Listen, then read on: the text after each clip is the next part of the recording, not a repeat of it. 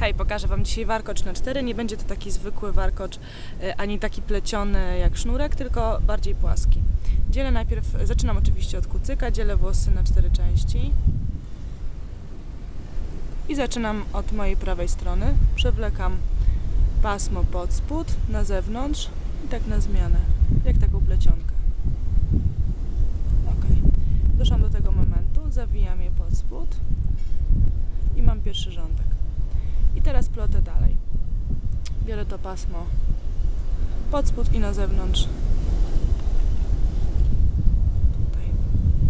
Zawijam i dalej.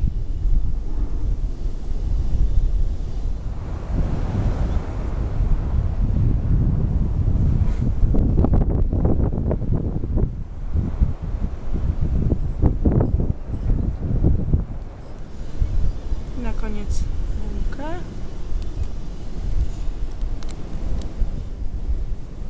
Ok, warkocz jest gotowy. Mam nadzieję, że Wam się podoba. Pa, pa!